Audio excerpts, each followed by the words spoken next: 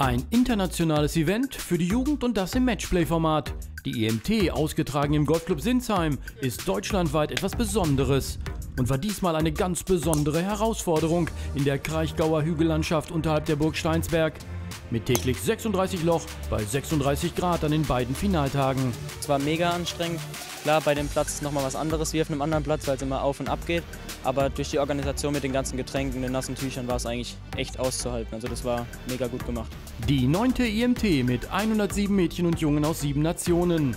Im Finale bei den Jungs der 16-jährige Ben Markmann vom Golfclub Bergisch Land und der 18-jährige Maximilian Reis vom Golfclub Mannheim-Vierenheim, die sich im Feld der 56 Jungen durchgesetzt hatten. Es war meines Erachtens die beste IMT, die wir bisher hatten, mit dem größten Teilnehmerfeld, mit den besten Scores, mit sehr, sehr spannenden Matchplays. Die Entscheidung bei den Mädchen eine Sache für die Spielerinnen aus St. Leon Roth, die schon im Halbfinale unter sich waren.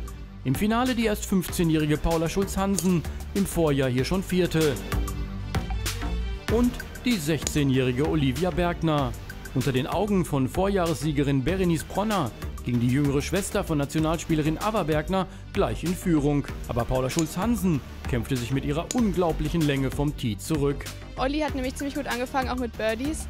Ähm, und dann irgendwann hat, ist sie auch auf Pars und Bogies umgestiegen und dann war für mich die Chance da. Für das erste Highlight hatte Wolfgang Glave gesorgt. Trotz Magen-Darm-Problemen und einer Nacht ohne Schlaf spielte er in der Zählspielqualifikation eine 64. Platzrekord. War eine richtig gute Runde, war meine beste Runde meines Lebens. Ich meine, die Umstände waren jetzt echt schlecht eigentlich, aber war echt eine gute Runde. Im Matchplay der besten 32 waren dann andere erfolgreicher. Allen voran die beiden Finalisten, wo Ben Markmann sofort das Kommando übernahm. Kurz zuvor hatte er mit dem Team aus NRW den Länderpokal gewonnen und war jetzt souverän durch die vier Matchplay-Runden gekommen. Aber Maximilian Reis blieb dran, nahm jede mögliche Abkürzung und hielt mit solchen Putts den Anschluss.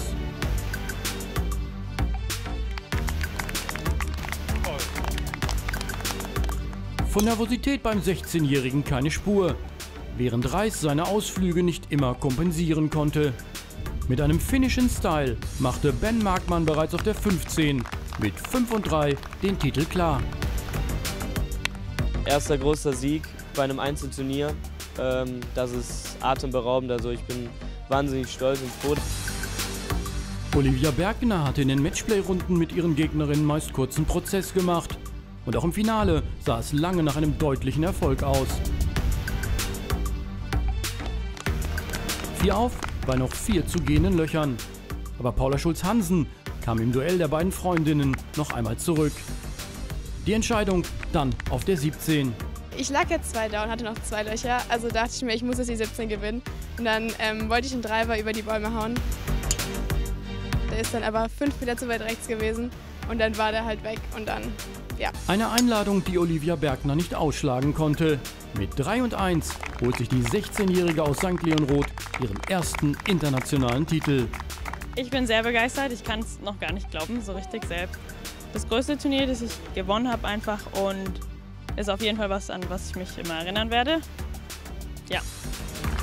Eine stimmungsvolle Siegerehrung war der Höhepunkt einer intensiven Turnierwoche mit den glücklichen Siegern und schon mit viel Vorfreude auf die Jubiläumsausgabe im nächsten Jahr.